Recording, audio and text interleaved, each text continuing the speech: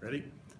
Hi, this is Tom Wolf, Governor Wolf of Pennsylvania, and I'm urging everyone to vote for Bristol Borough in a contest, a nationwide contest, uh, to revitalize their downtown. Bristol is one of 14,000 boroughs that applied for this $500,000 grant, and they're down to five finalists.